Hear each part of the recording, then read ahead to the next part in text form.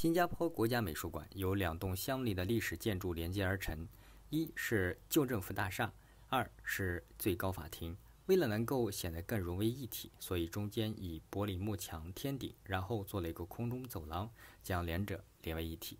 广阔的殿堂令人震撼，哪怕是脚边的石头摆放也富有几何哲学。通过镜面的视觉折射，营造出一个深不见底的书籍堆放景象。穿越过欧式古典长廊，可以进入不同的主题展馆。艺术原本就是如此简单而极具看点。新加坡国家美术馆在长期和特殊展览中，都以新加坡和东南亚艺术为主要特色。这里拥有世界上最大规模的东南亚现代艺术藏品，超过八千件藏品。当然，还有不少当年从中国等地下南洋的画家，也在这里留下了自己的作品。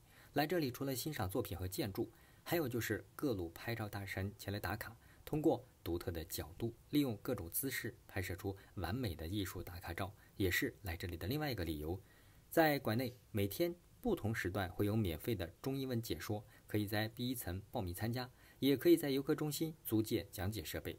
相信对于中国游客而言，还是非常友好而且便利的。